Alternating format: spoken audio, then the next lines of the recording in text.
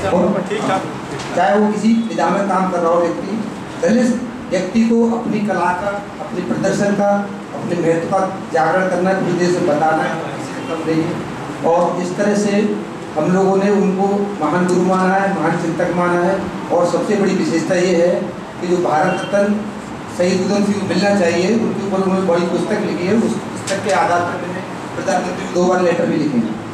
एक मैं ज़्यादा बहुत बड़ा कभी भी नहीं हूँ छोटा सा लेखक हूँ लेकिन मुझे एक महत्व रा, राज साहब ने मुझे ये कहा कि भाई जन्मे जाए तुम पत्र बहुत अच्छा लिखते हो और सारी पत्रिकाओं में लिखा करो मैं भारत का पहला दलित व्यक्ति हूँ जिसने कि हिंदी कोई पत्र पत्रिका नहीं छोड़ी है जिसमें मेरा पत्र नहीं छपा हो।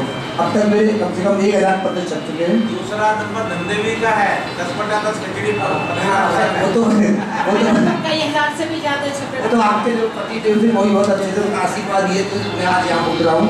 उनका आशीर्वाद की वजह से उतरा हूँ। और मैं जो जहाँ तक हूँ मैं पत्र लिखता हूँ लेकर और आगे कुछ नहीं बोलता हूँ। सॉरी आगे कुछ नहीं बता पाऊँगा तो एक पत्रिका निकलती है हमारे दिल्ली से आजकल शायद बंद हो गई। बहुजन केसरी थी। हाँ।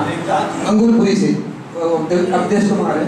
तो राज साहब ने बोले, भाई, हम तो लंदन भी घूमने आए मैंने बताओ कैसे घूमने कहाँ तो सारी बातचीत करने के बाद में फिर हमने उनके बारे में उनका जीवन परिचय लिखा।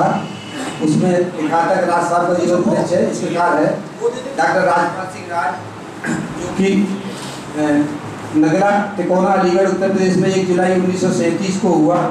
डॉक्टर राज जी की शिक्षा, एम ए हिंदी, पीएचडी तक रही।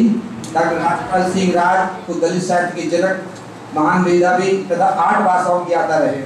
उन्होंने अनेक भोजपुर पुस्तकें लिखी। इनकी साहित्यिक कृतियाँ संत शिरोमणि रविदास हिंदी भाषा राष्ट्रीय एकता की कड़ी है।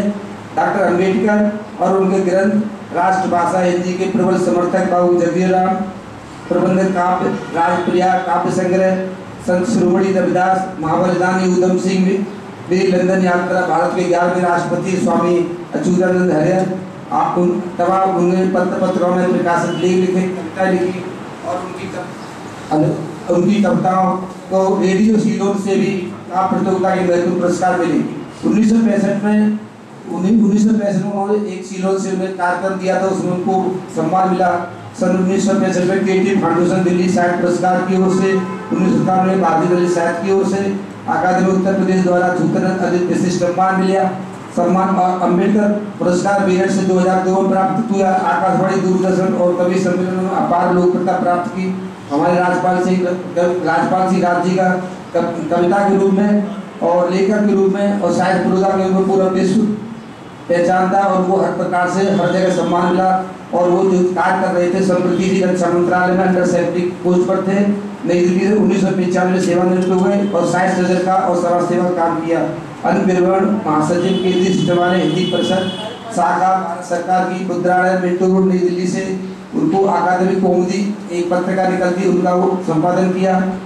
और उन्नीस सौ अस्सी और तिरासी के बीच में यमुना पार्क के शोषित वर्ग संघ रजिस्टर्ड महासचिव रहे, जिनके उनके शिष्य श्री वीर जी हैं और उनके साथी श्री डॉक्टर कुसुम योगी जी, उन्होंने बराबर कंधे से कंधा मिला करके पूरे देश में, पूरे भारत में दलित साहित्य का नाम रोशन किया और पत्र महत्व से संकुल विकसित तरक्की उन्नति कराई।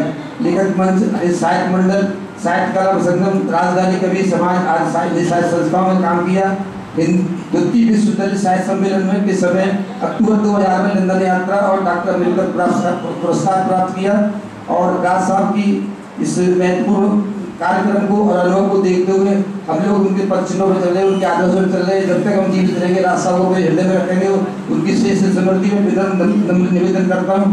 सादर सहित उनको संदेश बहुत बहुत धन्यवाद। और मेरे